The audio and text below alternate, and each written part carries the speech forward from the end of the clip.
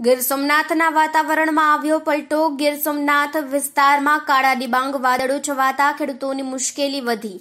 એક તરફ કોરોનાને લઈ દેશભરમાં લોકડાઉન છે, તો બીજી તરફ કુદરત પણ રૂઠ્યો હોય તેમ લાગી રહ્યું છે.